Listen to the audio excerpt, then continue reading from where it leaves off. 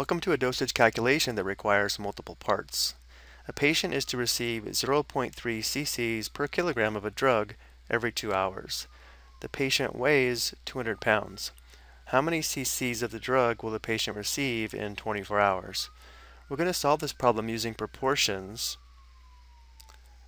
So looking at the given information, we're going to start with the rate 0.3 cc's per 1 kilogram.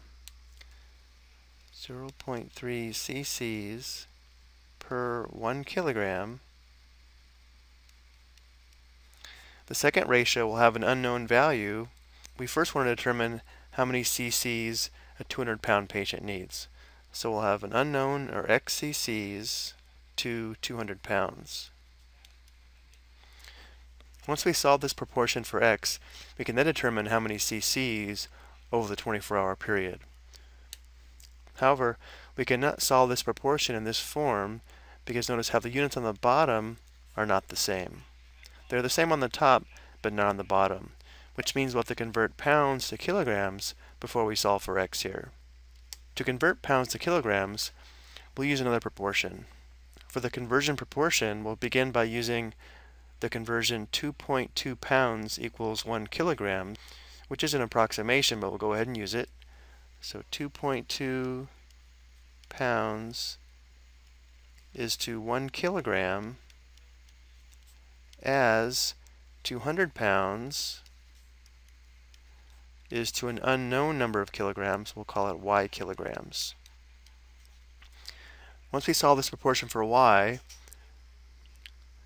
we could perform a substitution here in kilograms for 200 pounds and then solve this proportion for x.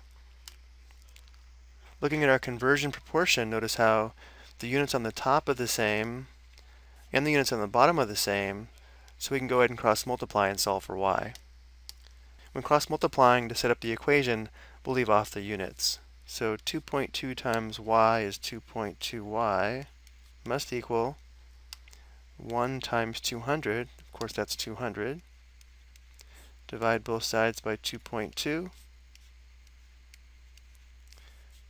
We have y is approximately, let's use our calculator. Let's use our calculator, 200 divided by 2.2. We'll go and round this to two decimal places. We'll say this is approximately 90.91. Which means 200 pounds equals 90.91 kilograms, which we can now substitute for 200 pounds. Again, since y equals 90.91, 200 pounds is equal to 90.91 kilograms, so we can perform the substitution here. So now we have 0.3 cc's to 1 kilogram equals x cc's to 90.91 kilograms. And now in this form, notice how we have the same units on top, same units on the bottom. Now we can cross multiply and solve for x. So 1 times x must equal 0.3 times 90.91. So we'd have x equals 0.3 times 90.91. Enter. So x is approximately 27.27. which means the patient that weighs 200 pounds should receive 27.27 cc's every two hours. Which leads us to the last proportion that we have to solve.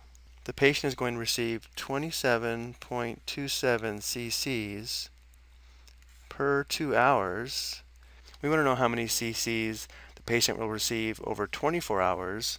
So this rate would be equal to an unknown number of cc's, let's call it z cc's, to 24 hours. Notice how in this proportion, we do have the same units on top and the same units on the bottom, so we can go ahead and cross multiply and solve for z. Let's go ahead and do this on the next slide.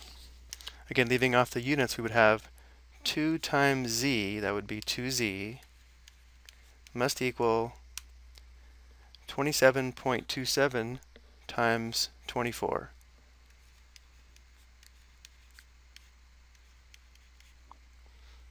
Solve for z, we divide both sides by 2. Let's go back to the calculator. We have 27.27 times 24 and then divided by 2. And we'll go ahead and round this to the tenths place value. This would be 327.2.